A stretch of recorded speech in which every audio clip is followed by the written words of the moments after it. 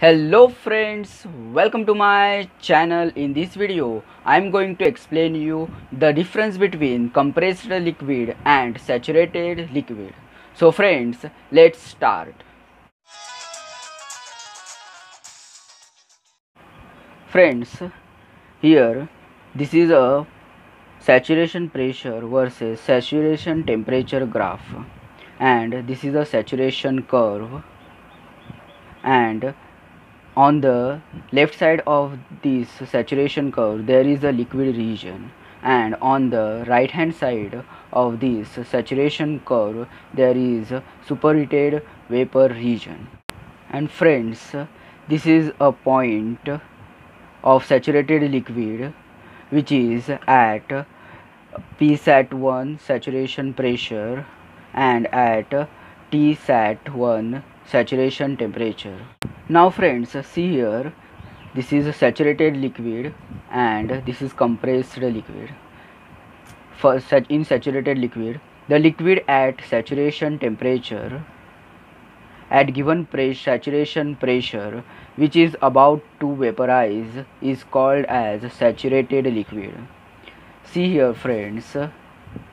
This is a saturated liquid.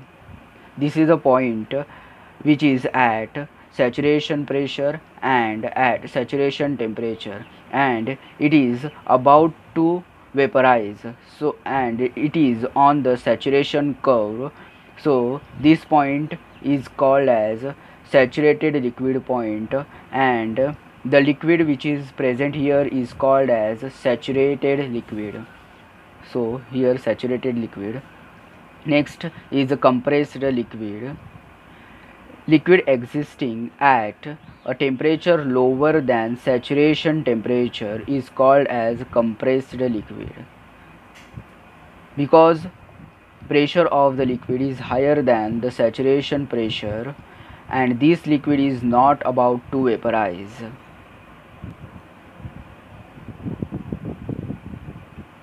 Here friends the temperature lower than the saturation temperature. That means the temperature will be here or here less than this saturation temperature. And uh, saturation temperature. So the, the liquid existing at temperature lower than saturation temperature is called compressed liquid. That is liquid which is available here less than saturation temperature in this case. And uh, about this because this point because of pressure of liquid higher than saturation pressure we will see in our third point in detail. And this liquid is not about to vaporize. The liquid which is present here is in liquid region so it is not going to be vaporized. Now second point in saturated liquid a liquid with a temperature and pressure are such that when trying to decrease pressure without changing the temperature the liquid begins to boil. A liquid with a temperature and pressure such that when trying to decrease here friends this temperature and pressure means the uh, the saturation pressure and saturation temperature here and when trying to decrease the pressure without changing the temperature. That is if we decrease this decrease the pressure below the saturation pressure then it starts to without and without changing the temperature. That is the temperature temperature remains tsat 1 and uh, pressure is below the psat 1 here in this case. Then the liquid begins to boil now, in compressed liquid, a liquid under mechanical or thermodynamic conditions that force it to be liquid. This will also we will see in detail in the our third point. Friends, as we know, a liquid is a phase of matter which contains molecules having intermolecular spaces larger than solids and smaller than gases. This gives the liquid's ability to flow. So here friends this is a solid this is a liquid and uh, this is gas. These are the molecules molecules. Here friends this is the intermolecular force uh, spaces between the solid is much lesser and it is a solid. It is in solid case much closer uh, the space. The, there is no space between the particles or molecules and in liquid as compared to uh, solid there is uh, more intermolecular space. And in case of gas there is more intermolecular space as between the molecules as compared to liquid uh, molecules. In the diagram we can see these are closely spaced. These are these are little less closely closely spaced and these are these are very far these two molecules are very uh, far as compared to liquid molecules. Here friends we third point of the saturated uh, liquid we can make a saturated liquid via adding solutes to a solvent until we cannot add any more solutes. So here friends in the diagram as we have seen uh, there is intermolecular space between the liquid molecules and we uh, so, and this is a solvent solvent and we add some solutes. This is uh, gray colored this one. This is a gray colored layer is uh, we can say here solute.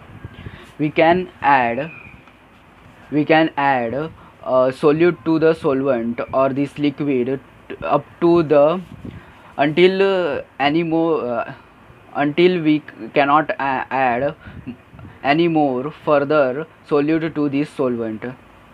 Then this uh, uh, liquid this one becomes uh, saturated liquid. By adding solute until we cannot add any more solutes to the solvent or this liquid next is we can form a compressed liquid when we apply external pressure until the solution compress due to the reduction of empty spaces between the molecules. Here in in saturated liquid, saturated liquid we added solute to fill the intermolecular space between the liquid and in case of compressed liquid we compress the we have considered here piston cylinder frictionless piston cylinder arrangement and this is a compressed liquid here.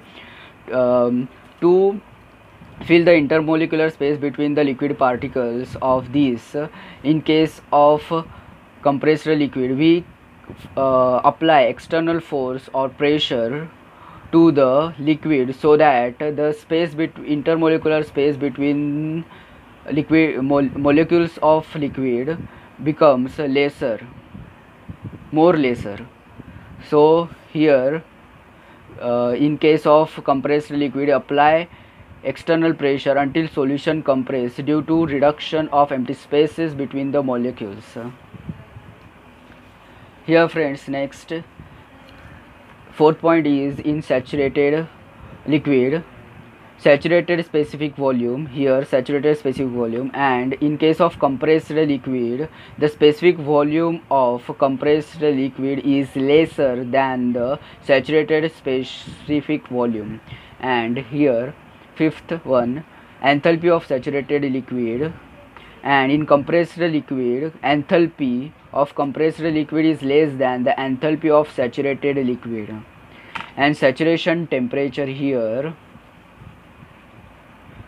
saturation temperature and in case of compressed liquid the compressed liquid temperature is less than the saturation temperature. Here we can see here friends. Uh, this is a less temperature. This is a point uh, and this is a saturation temperature and this is a another temperature.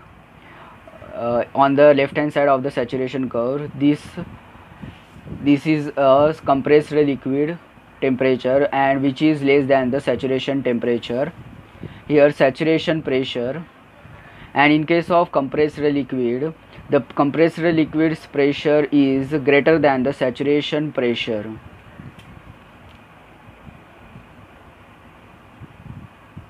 This is because as we have seen here we apply external force to the saturated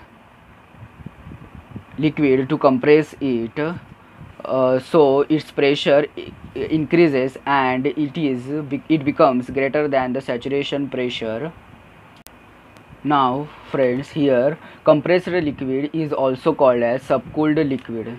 This is because friends uh, here in case of compressed liquid the temperature is less than the saturation temperature. Here now consider this is T sat this point temperature and this is T temperature. And um, the the T sat minus T that is suppose this is TL the temperature of the compressed liquid which is less than the saturation temperature. And this this is called uh, because uh, of this temperature TL is less than saturation temperature it is called as subcooled liquid and uh, the difference between the uh, Tsat minus that is Tsat that is saturation temperature minus compressed liquids temperature TL is called as degree of subcooling. Here and here friend next is superheated vapor. Superheated vapor here friends in the graph superheated vapor will lie. Suppose we increase the temperature up to this point and this is T sup temperature. The uh, the we if we increase the temperature of this liquid saturated liquid then it becomes uh, superheated vapor. It becomes superheated vapor because it is in the superheated vapor region and here friends the difference between T sup uh, superheated vapor temperature minus saturation temperature is called as degree of superheat. Thank you friends for watching this video. Like share and comment for this video and subscribe my channel. Thank you